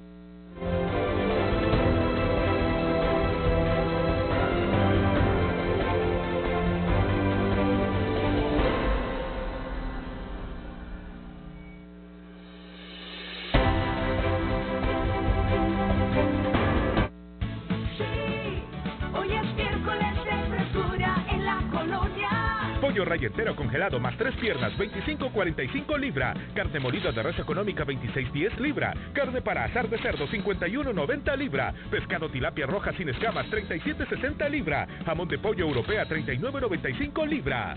Ahorra y aprovecha hoy en el miércoles de frescura en nuestras 49 tiendas a nivel nacional. La Colonia, acá te queremos. Aunque lo pintes, lo tapes o lo ocultes, el hongo está ahí y avanza. Mejor usa Unesia. Lima la uña y aplica Unesia por la mañana y por la noche. Su fórmula antimicótica penetra hasta la base de la uña para ayudarte a eliminarlo. Tu uña nace sana y tú solo vas cortando la parte enferma. Ahora sí. Porque Unesia es el reparador de uñas.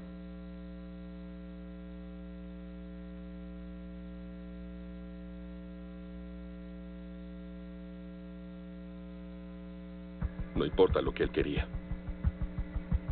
Yo di la orden. SEAL significa mar, aire y tierra. Es la más letal fuerza de operaciones especiales de Estados Unidos. Iremos a averiguarlo. ¿Hablas en serio? Su misión, entrenar, planear y ejecutar las tareas de reconocimiento y rescate más difíciles, peligrosas y de alto riesgo. Muévanse ya, ya, ya, ya. Únete a este grupo élite y conoce de cerca sus debilidades, miedos, habilidades y triunfos. No te pierdas el emocionante estreno de CNG, sábado 20 de abril, 8 de la noche por Telecadena.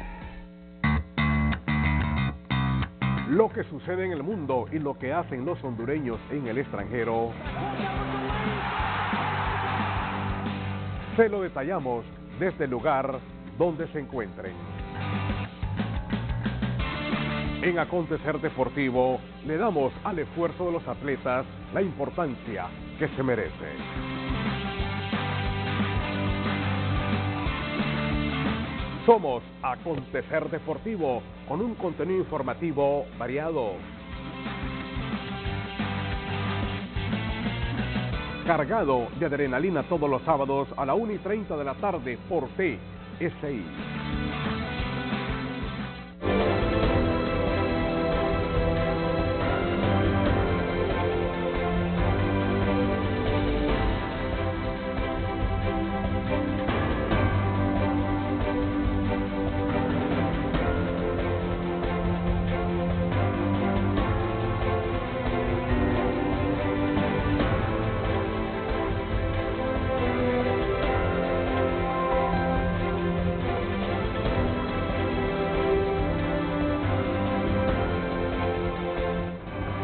Tres de la tarde con 17 minutos. La actividad en el Congreso de la República se está cerrando en las próximas horas. Calona, ¿cómo marchan las reformas políticas? Al final se quedan para el mes de mayo. Quizás habrá que esperar eh, el mes de junio para su discusión. Entre tanto, el tema de la energía eléctrica y su aumento se ha quedado pendiente ahí en el Congreso. Buenas tardes, Oscar Orlando. Bien, muchas gracias. Buenas tardes, Rosendo. Buenas tardes, compañeros de la N, de TSI y de todo el país. Estamos justamente en la última reunión del Congreso Nacional. Está cerrando esta semana inusual. Comenzamos el lunes, martes, miércoles. Estamos concluyendo la agenda legislativa correspondiente a esta semana previo hay que decirlo correctamente, a las vacaciones de verano. Eh, importantes proyectos. Bueno, se está hablando de este tema. Eh, se va a habilitar este puente sobre el río Umuya, que ha sido una pesadilla esta pasada por el corredor turístico, lo que conecta con el Santa Rita con el, el Progreso Lloro. eh, para el próximo lunes, entendemos, va a quedar habilitado este puesto, eh, diputado Reinaldo Economo. Bueno, fíjese bien, hemos estado solicitando, gracias a los diputados compañeros de Lloro, para que sea el viernes. Porque imagínese el tráfico vehicular en estos momentos para acá y normalmente ya ocasiona problemas. Ya no en el momento de Semana Santa. Yo le puedo garantizar de que vamos a estar pendientes y atentos a los diputados y así lo hemos decidido de que el lunes esté habilitado este puente. Y otra noticia importante que la abordamos con el director ejecutivo del INDEP hace unos días atrás, el tema de la señalización. Entendemos que están trabajando a todo vapor para tener señalizadas las carreteras más importantes del país. Se ha hecho un gran trabajo y tenemos que reconocer, se están señalizando y se está trabajando hasta de noche para señalizar.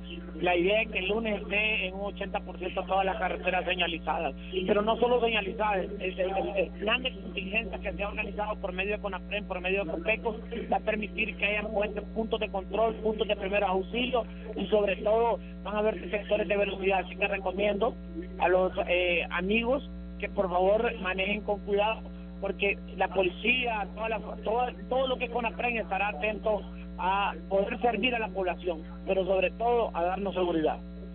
Solo una consulta más. Usted estaba en la comisión de los superintendentes. Eh, ¿Qué decidieron al final? ¿Va a esperar esto la decisión?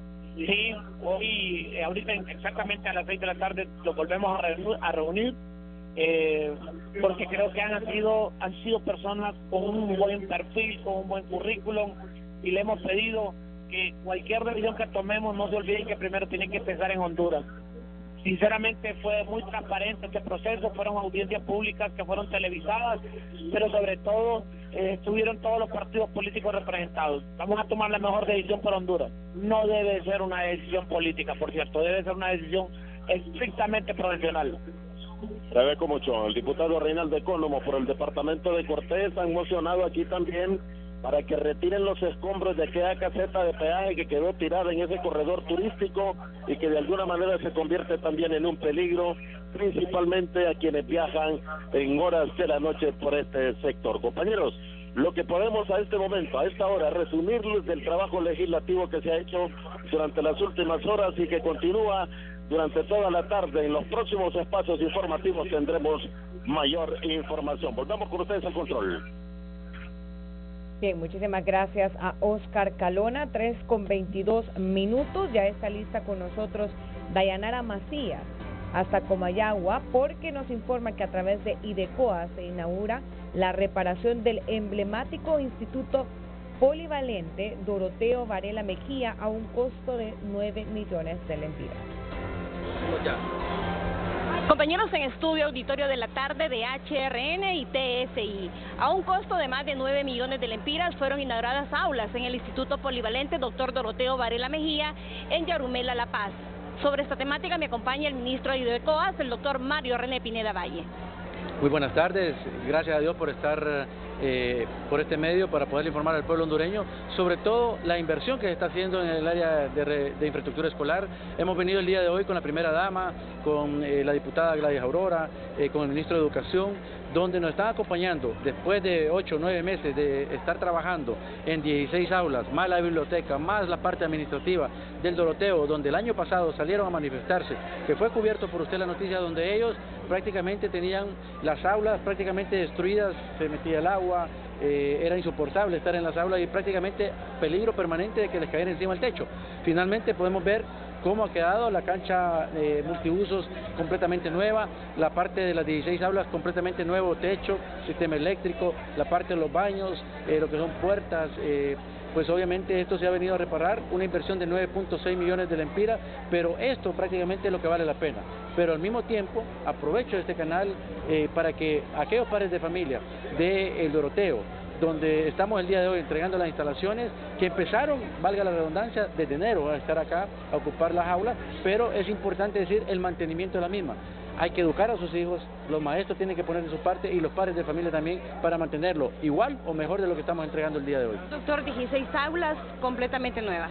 16 aulas completamente nuevas, eh, reconstruidas, eh, con sus respectivas pizarras, con mobiliario para los profesores. Hemos dado además 300 eh, pupitres más que ocupaban aquí en las instalaciones, más de 900 alumnos y sobre todo lo importante, ya no van a sufrir con el tiempo de lluvia, ya tampoco se va a inundar la parte administrativa que ya fue resuelto. Esto es lo que estamos entregando el día de hoy. Una de las gestoras para que esto fuera una realidad fue la exdirectora de este centro educativo, la profesora Paula Medina. Claro que nos está viendo, un saludo y un abrazo a la distancia, donde estamos diciéndole gracias al esfuerzo que ella hizo también y hoy también a los alumnos que ya tienen también a la sociedad civil que viene y pone sus hijos acá, que ya está totalmente reconstruido y hoy no hay excusa para que venga a un colegio meramente técnico para que sus hijos aprendan. Los alumnos de este centro educativo ya pueden recibir sus clases en mejores condiciones. En compañía del ministro de IDECOAS, el doctor Mario René Pineda Valle, retorno micrófonos a estudios principales de la tarde de HRN y TSI, informándoles Dayanara Macías. 3 con 25 minutos y desde Comayagua nos trasladamos hacia la zona sur del país con Heidi Gudiel, quien nos detalla que las autoridades del Ministerio Público, DPI, entre otras, están acompañando a la policía y al ejército a realizar inspecciones para constatar denuncias de construcción de bordas y canales de desvío del río Chiquito. Eh, hacemos pues conocer a través de este medio que a través de la Fuerza de Tarea Ambiental en combate al delito ambiental hemos realizado lo que es una comisión interinstitucional para verificar y comprobar las denuncias que se han venido dando a través de todos los medios, inclusive en su medio de comunicación, en cuanto a por qué la falta de agua en el río Choluteca y por qué la falta de agua a la población del pueblo Choluteca. En respuesta a esto, pues el día de hoy hemos realizado lo que es una inspección a varios sitios o lugares que ya tenemos determinados sobre los cuales se ha logrado pues detectar lo que es la represamiento del río Choluteca, así como lo que es la desviación de su afluente y para lo cual pues ante los juzgados conforme al artículo 230 del Código Penal y Ley General de Aguas solicitaremos en las próximas horas ante los juzgados correspondientes lo que es una medida neutralizadora para así que el río Choluteca fluya normalmente con sus aguas, eh, aguas abajo. Ya la ley general de agua establece lo que es el agua como un derecho real y asimismo el artículo 230 del Código Penal establece lo que es eh, la usurpación de un derecho real y en este caso como le es el agua del río Choluteca eh, estaría cometiendo lo que es un delito penal. Pero en este caso y dada la emergencia y la colaboración que nos ha pedido en nuestro trabajo, pues hemos hecho esta inspección para solicitar de manera urgente ante los juzgados competentes la medida neutralizadora para evitar que esto siga sucediendo. Correcto, una cosa es tener un permiso, una contrata de agua, y otra cosa es usurpar el derecho real. No debemos de confundir estos términos. Nosotros, pues, eh, ante las inspecciones que hemos realizado y múltiples dictámenes que emitirán las instituciones, nosotros lograremos demostrar ante los competentes que efectivamente se ha cometido un delito y ese delito es usurpación de un derecho real, en este caso lo que es en perjuicio del medio ambiente del Estado de Honduras y la población de Choluteca. Felizmente el día de hoy hemos notado un aumento en la, en la cortina de agua del, del río Choluteca.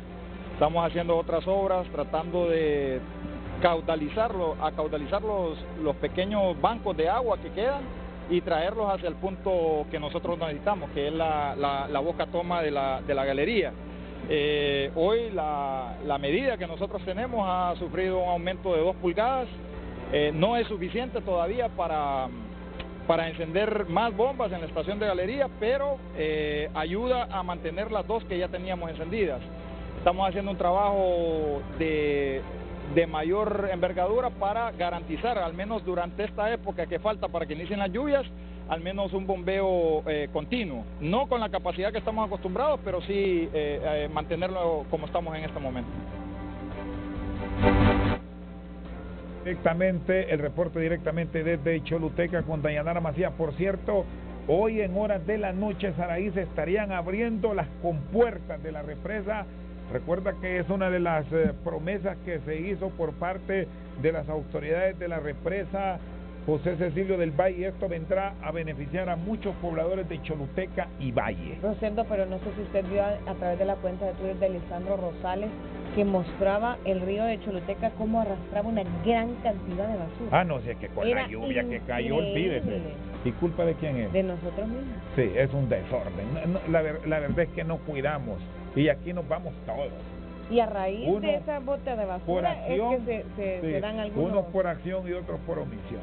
Es un problema tremendo el que tenemos. Bueno, ojalá que con esto de la ley seca, a propósito, ya cuando usted anda tocadito no agarre esa botella y vea.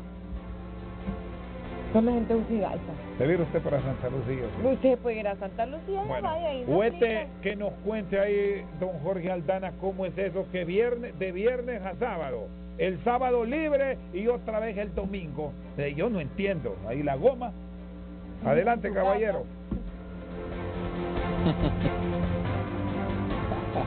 El lunes. Muchas gracias, don Rosendo García, Saraí Espinal, auditorio y televidentes de la tarde. Justamente me acompaña el regidor por el Partido Libertad y Refundación, Jorge Aldana, sobre esto de la ley seca y también de las sanciones que ya están establecidas en directo para la tarde.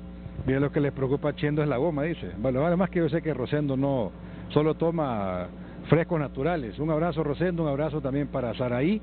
En efecto, fue ratificada la ley seca aprobada en corporación el año anterior, que hace que todos los cuatro años de esta administración, esta ordenanza municipal se cumpla desde el Viernes Santo a las seis de la mañana hasta el sábado y se reinicia otra vez, el, como dijo Rosendo, el domingo de resurrección a las seis de la mañana hasta las seis de la mañana. En efecto, queda el sábado eh, sin cobertura, pero recuerde usted que ahí hay un tema entre Canatur y la Iglesia Católica. La alcaldía solamente trata de regular un espacio que a petición de la Iglesia Católica se aprobó allá cerca del año 2000 y que de ahí para acá se ha venido generando para garantizar la tranquilidad, el sosiego, el buen convivir de las actividades de las, eh, de las distintas iglesias aquí en la ciudad capital.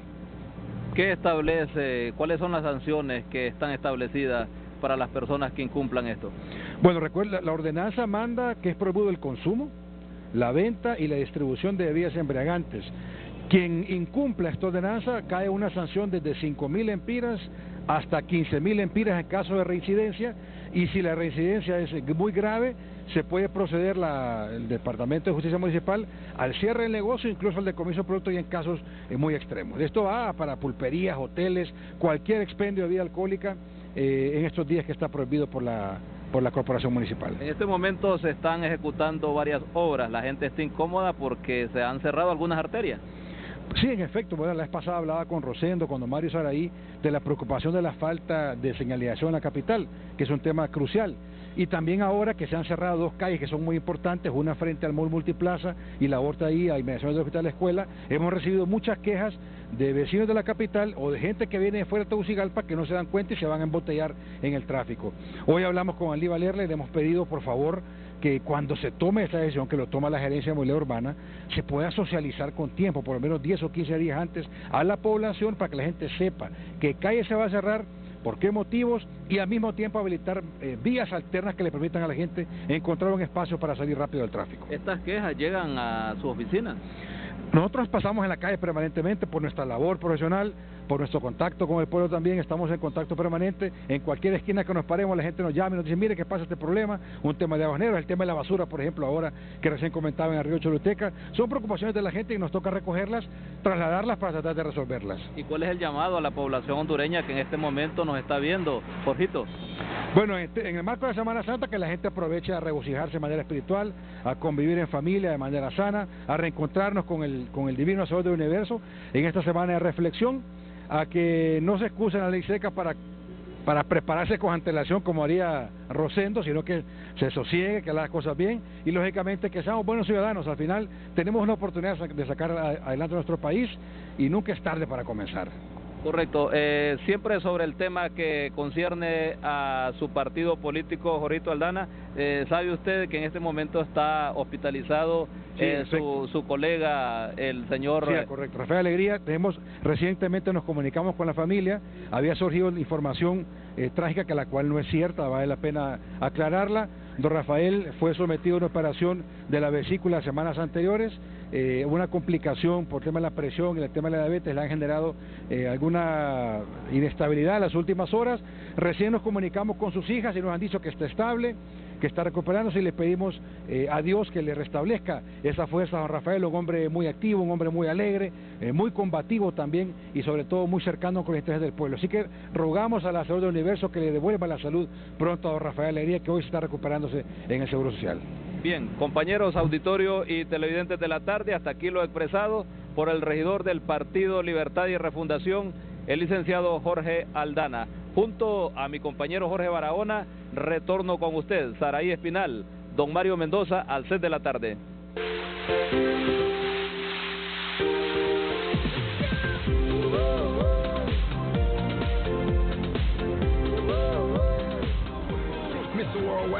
Estamos en vivo a través de la tarde. Renata Espinal Amante con su segmento de farándula y una noticia que nos va a impactar a muchos. Está lloviendo. Ah, ok. Esa noticia sí. Estoy, yo pensé que ibas a hablar de lo que estaba hablando Chende. Como ¿De no. que te casas? No, todavía no, no me voy a casar, eso. ustedes, de verdad. No va a No, suceder. es un secreto. no va a suceder Renata. ni pronto ni, ni lejanamente. No hay no hay nadie ahí en vista. Ya voy a decir el nombre que le escribe. Ajá. ¿Quién? A mí no me escribe nadie.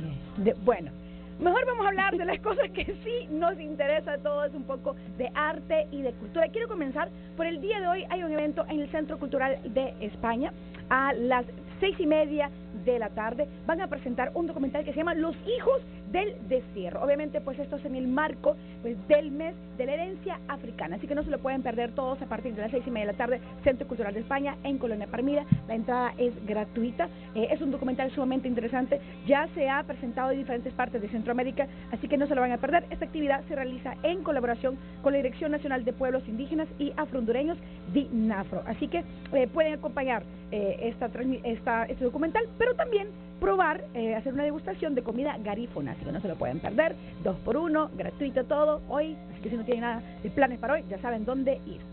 Por otro lado, el día de mañana, si a usted le gusta el jazz, le gusta la música, pues entonces tiene que ir a la Alianza Francesa. A partir de las 7 de la noche se va a estar presentando el cuarteto francés, así una noche de jazz. Eh, van a poder también degustar de algunos vinos por ahí. La entrada es de una donación de 100 lempiras, así que mañana jazz a las 7 de la noche en la Alianza Francesa. Y por último, también el día de mañana, pero esta es entrada gratuita, va a ser en el Redondel de los Artesanos, hay un festival. La primera vez que se realiza el Festival Diverso, poesía, música, pintura en vivo, es un festival de arte, voces y rebeldías diversas llamado Juana Pavón. Así que no se lo pueden perder todos el día de mañana. Un poquito de actividades culturales y artísticas para todos ustedes, algunas gratuitas, algunas con una pequeña donación, 100 lempiras, pero todo esto ustedes lo pueden encontrar en las redes sociales. Recordemos que tenemos una oferta bastante grande de cosas por hacer en Tegucigalpa y tenemos que aprovecharla. Bueno, muchísimas gracias nada. Renata Espinal Amante y te invitamos también para que visites durante esta temporada de Semana Santa a Lauca, Ajá, en contame. el Paraíso, eh, porque en ese lugar hay muchas cosas que ustedes pueden hacer y que pueden disfrutar de todas las bellezas que tiene la zona oriental de nuestro Ay. país. Así que puedes Voy ir con ir. tu prometido. Renata Espinal Amante y su segmento de farándula.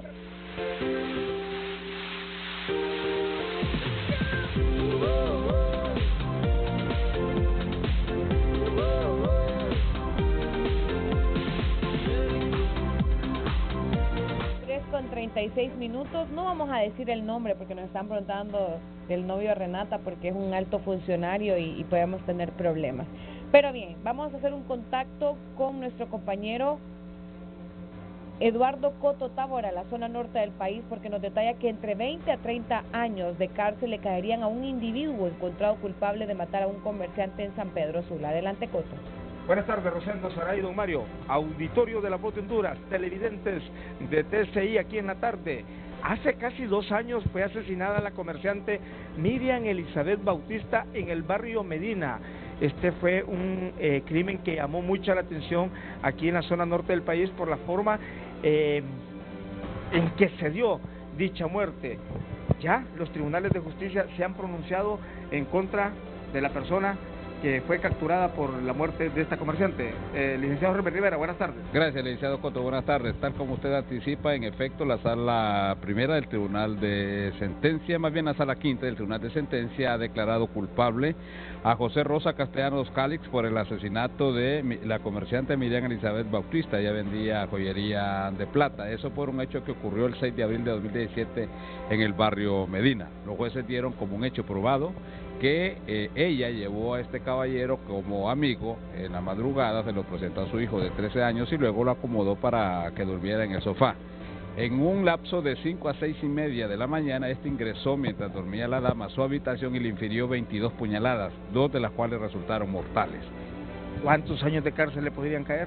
Por este delito, el Código Penal establece una sentencia abstracta de 20 a 30 años de reclusión más las penas accesorias de inhabilitación absoluta e interdicción civil. Muchas gracias. Herbert Rivera, quien es portavoz de los tribunales de justicia aquí en San Pedro Sula. Retornamos a los estudios de HRN La Voz de Honduras y de TSI aquí en la tarde. Muchísimas gracias a nuestro compañero Eduardo Coto Tabora. Antes de finalizar este programa tenemos una llamada telefónica. Muy buenas tardes, le escuchamos, línea 3. Buenas tardes. Buenas tardes, caballero. Tenemos una denuncia en este momento, pero antes de tener eh, esta llamada telefónica a las 3 con 39 minutos, Yari Barahona nos muestra más de las diferentes actividades que podemos realizar en Lempira. Buenas tardes, Rosendo, desde el Parque Nacional de Celaque en Gracias Lempira. Aquí hay buenas noticias para aquellos que son amantes al deporte extremo, porque a partir de este fin de semana se va a poner a disposición de todo el público que viene al Parque Nacional de Celaque el Rocódromo. ¿En qué consiste? Está con nosotros el experto Nicolás Zúñiga. Buenas tardes. Buenas tardes. Pues tenemos el Rocódromo aquí en la montaña Parque Nacional Celaque, que es también la montaña más alta de Honduras. Una nueva actividad que puede realizar, además del senderismo, del camping, que la observación de aves. Tenemos un deporte, pues, podemos decir que es extremo, pero con todas las medidas de seguridad, que es la escalada en, en piedra artificial. Por ejemplo, ¿cuál es el equipo para que más o menos orientemos a la población y al auditorio de HRN que se debe utilizar para eh, practicar eh, lo que es eh, escalar o el rocódromo? Muy bien, eh, para realizar esta actividad con todas las medidas de seguridad se necesita principalmente un arnés ¿verdad? que lo tiene que tener tanto el guía como también la persona que va a subir a la pared a realizar la actividad. Se necesita siempre un casco, ¿verdad? También para asegurar nuestra cabeza en caso de que haya un movimiento malo. Y pues todas estas herramientas, estas se llaman carabinas o mosquetones. Tenemos también los gris-gris, que esta es una pieza bastante útil, podríamos decir que lo más útil que tenemos aquí es esta carabina, que tiene un sistema de autobloqueo, es decir, si la persona que está arriba llega a soltarse porque se cansó, entonces esta, este sistema queda bloqueado de manera que la cuerda ya no sigue corriendo y quien está arriba solamente queda suspendido en el aire. También tenemos esta cinta, que es una cinta muy importante porque puede soportar bastante peso y la usamos como una cinta de seguridad que se utiliza en la parte de los anclajes para poder eh, facilitar no solamente eh, que el sistema sea muy bueno, sino que también sea más seguro. Darío, eh, Nicolás, pues a partir de este fin de semana ya está a disposición. ¿Cómo debe hacer? Digamos, si yo estoy en la casa y digo, quiero ir a practicar en el rocódromo, ¿cómo tengo que hacer? ¿Cuánto es la entrada y, por supuesto, las condiciones para hacerlo? Muy bien, eh, estamos en, principalmente, se realiza la actividad bajo reservación y los costos son 200 lempiras por estudiantes, 300 lempiras por persona para nacionales y 25 dólares para extranjeros. De manera que la, la persona nos llama, hace la reservación y nosotros venimos para realizar esta actividad. Eh, ya ese paquete le incluye todo lo que es la entrada al parque, la depreciación del equipo, la utilización de la torre y también los guías que vamos a estar aquí pendientes. Bien, a ver si nos hace aquí una pequeña muestra de cómo es la práctica en el rocódromo y por supuesto con las condiciones de seguridad establecidas aquí en el Parque Nacional de Celaque. Compañera, vamos a regresar con ustedes con estas imágenes.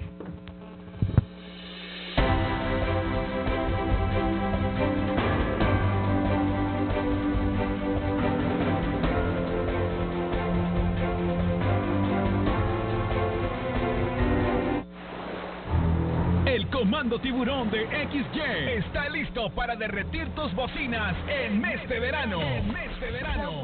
Compartiendo los momentos más calientes desde las playas de nuestro hermoso país. La Ceiba, Tela, Puerto Cortés y Roatán. Con transmisiones en vivo, conciertos, programas calientes, premios instantáneos, mucha música. Sigue al Comando Tiburón de XY a través de las radios más poderosas de Honduras y el alcance que solo Emisoras Unidas con su tecnología lo puede lograr. El Comando Tiburón de XY, derritiendo tus bocinas en este verano. Este miércoles, la visita es del peligroso Juticalpa, equipo necesitado de puntos. En el Nacional de Tegucigalpa, Olimpista, el león de tus amores te convoca. Los líderes del torneo, el ataque más demoledor del país. Precios, sol 60 lempiras, sombra 100 lempiras, silla 200 lempiras. Boletos a la venta a través de Tengo. Que se sienta, que se escuche más que nunca. El rugido nacional.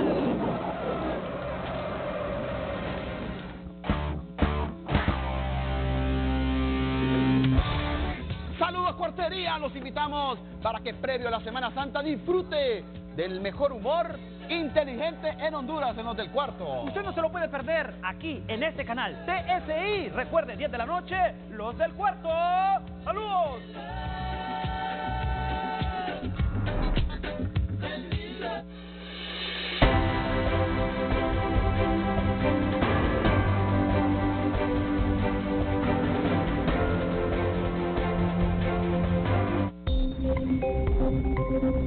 thank you.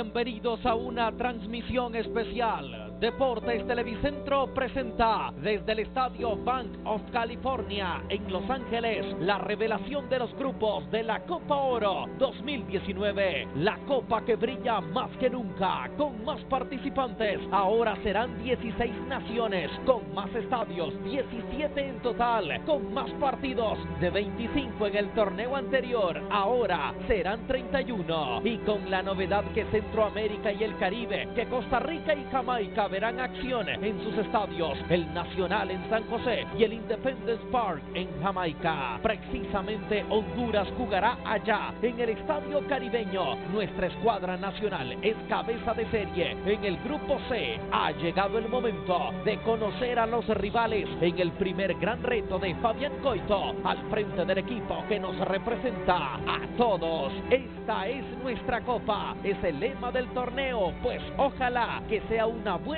señal para Honduras y que después de tanto tiempo, de tantas ediciones, de incluso estar muy cerca de ganarla en la primera edición, ojalá que hoy sí nuestra bandera se ponga en lo más alto. Bienvenida a la familia del fútbol catracho. Esto es la revelación de los grupos de la Copa Oro 2019. Comenzamos.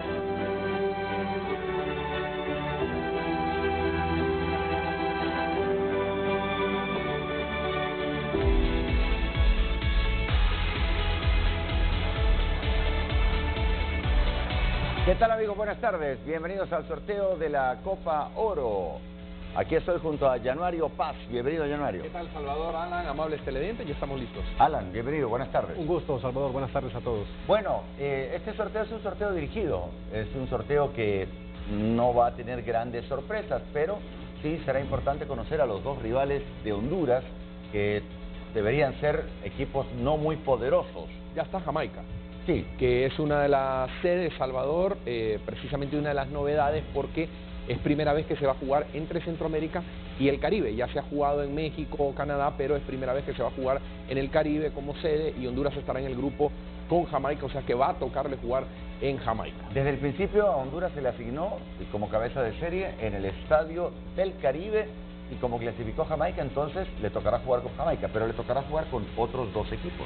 Sí, otros dos rivales que lo vamos a conocer dentro de un rato.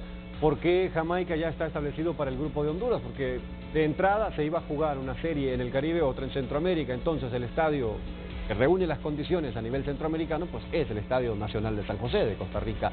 Entonces un grupo para los ticos, el otro al Caribe, no podían mandar a México ni a Estados Sí. Unidos. Estados Unidos va a ser local, México va a jugar en Pasadena, Claro. California. Entonces ahí va a estar Honduras jugando en Jamaica, donde no tiene muy buenos números contra la selección caribeña en eliminatorias en ese estadio, aunque allí se sentenció la clasificación aquella para, para Pero 2014. sin- sin triunfo, ¿no? Sin triunfo, eso sí.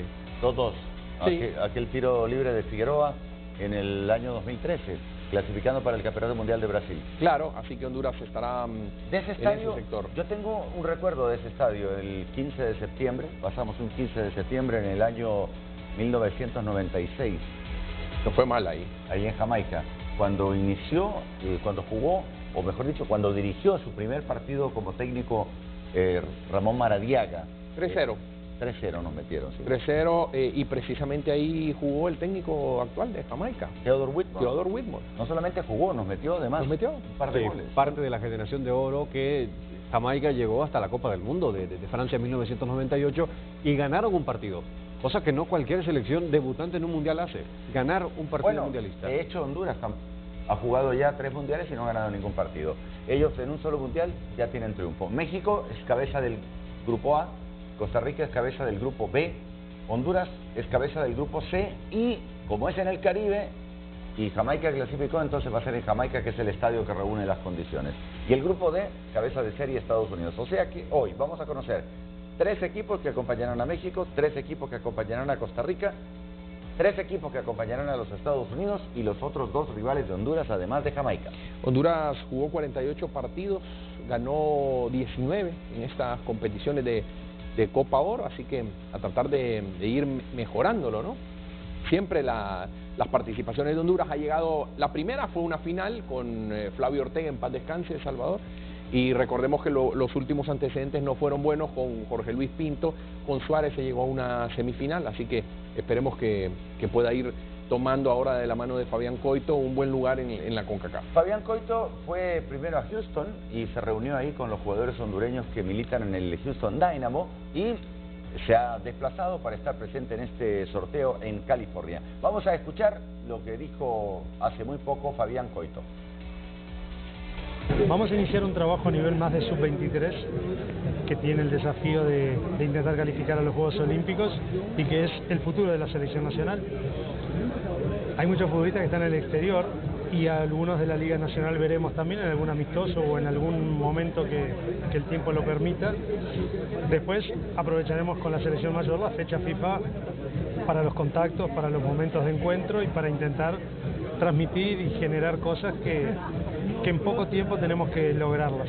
Este, importa si logramos en la selección generar un buen equipo y como, como te respondí anteriormente, lograr el reconocimiento de la gente, generar cosas que la gente se sienta este, re- representada por esos futbolistas y por esa selección. Por lo tanto, es muy importante que jueguen en el exterior, que se profesionalicen en otros lugares, que adquieran otras responsabilidades, que vivan otras experiencias y luego la tarea nuestra como entrenadores y de todo el grupo en general es transmitirlo eso a la formación de un equipo competitivo.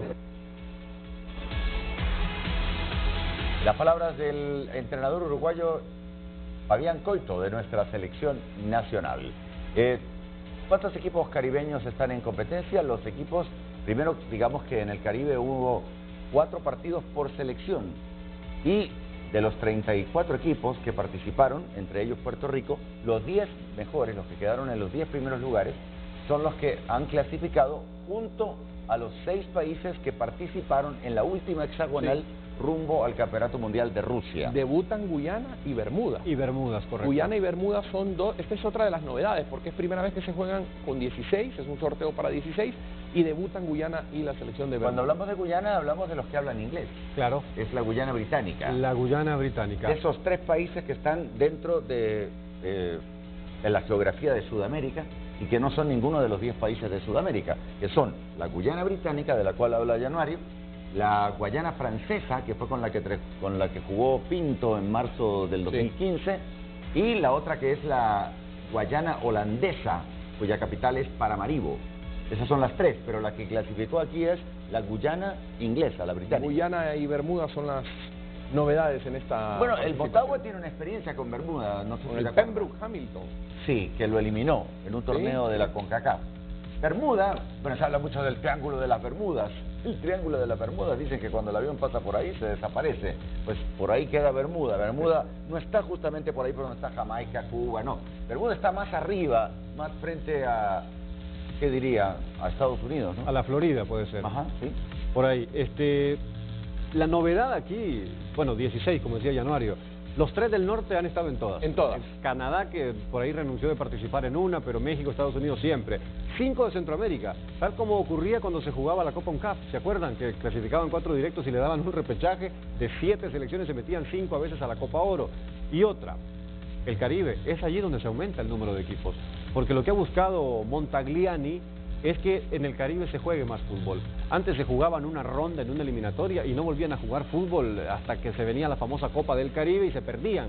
Entonces, con la Liga de Naciones de la CONCACAF, imitando eh, la, la- la nueva Liga de Naciones de la UEFA, lo que ha buscado Montagliani es que se le dé más fútbol a los países del Caribe. La novedad son ocho los caribeños Claro. que van a estar. Estamos hablando de eh, una gran cantidad de, de equipos, por eso hay